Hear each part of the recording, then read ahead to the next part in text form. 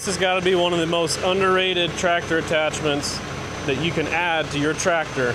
This is going to be an installation video for the 20 series or bad boy 50 series style cabs. It's a rear lever that operates your three point. This is really helpful when you're hooking up attachments so that you don't have to go around into the cab of the tractor to run your three point lever on the inside. Everything nice and handy back here where you can get to it. Now these are model and cab or non-cab specific, so you can look at our website and see the differences between them. These kits are super simple to install. We make these as a DIY kit. They come with all the hardware and you can get them on our website. I'll drop a link to that in the description. So this is exactly how it comes out of the box. All the hardware is just finger tight, exactly where it needs to go. And as far as the tools you'll need, a couple of half inch wrenches. Be nice to have a ratcheting half inch wrench. You got a couple half inch sockets, one deep, one shallow, and a three quarter, all in 3 8 drive. Now, if you wanna make it really easy on yourself, just go ahead and remove your tire and wheel. You can probably get to all these with the tire and wheel on, but what you're trying to get to is your three point lever in the cab. We're gonna mechanically tie to that lever. So this is the best way to get easy access by just going ahead and removing that tire. The first thing we're gonna install is this bracket that ties to the actual three point lever that's on the tractor. And we're gonna disassemble this little bracket and it's gonna go back the same way.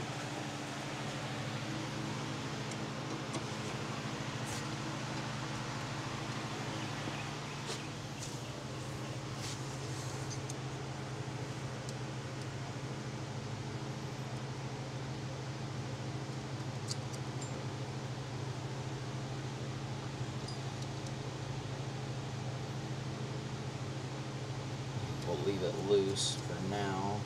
Uh, because we'll have to make adjustments once we get the whole lever put together.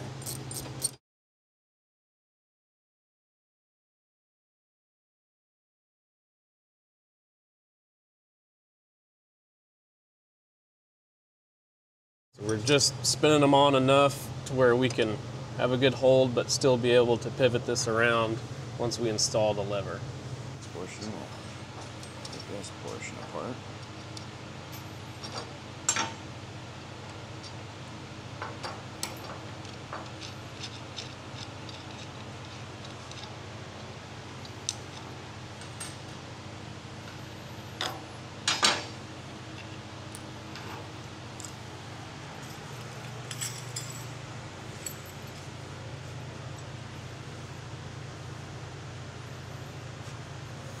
So this is going to be basically your anchoring point or your pivot point.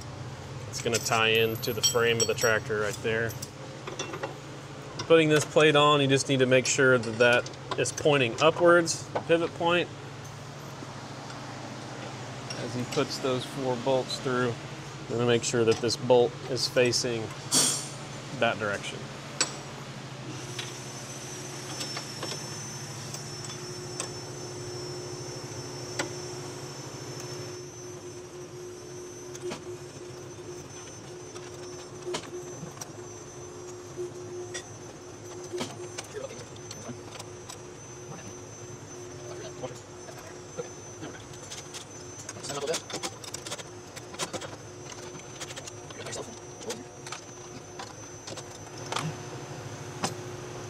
Snug these up enough to where you can have a little bit of friction to slide this bracket about as far up as you can slide it. So you want this bolt pretty much touching this sheet metal there. And then you can go ahead and snug this thing all the way down.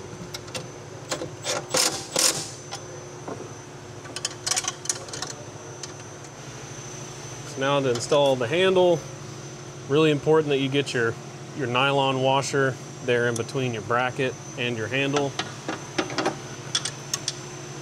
That's the portion we're going to use to actually set the tension.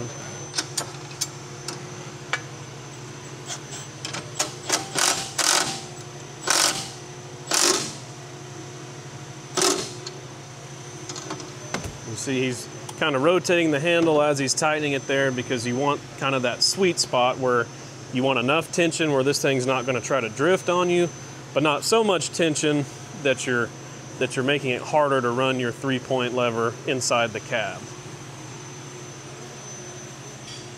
Now,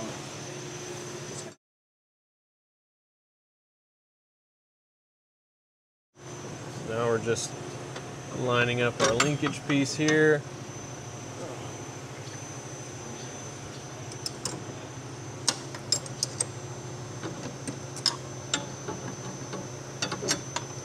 so we can kind of get this into the correct spot. Yeah, so we're just just laying that there for now just to make sure that we get the first piece we put on snugged up.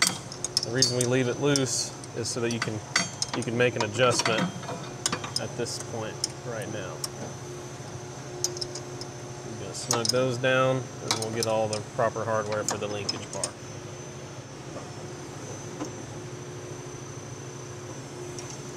Nylon washer in between, and then your washer, and then a nylock nut.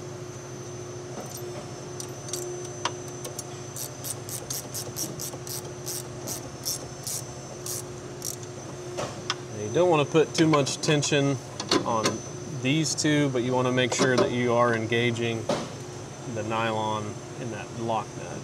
Be the same for the rear.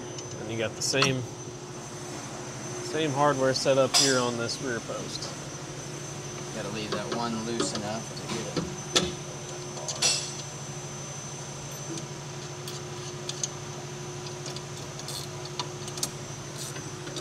And we're just gonna snug Snug everything up. both of those down.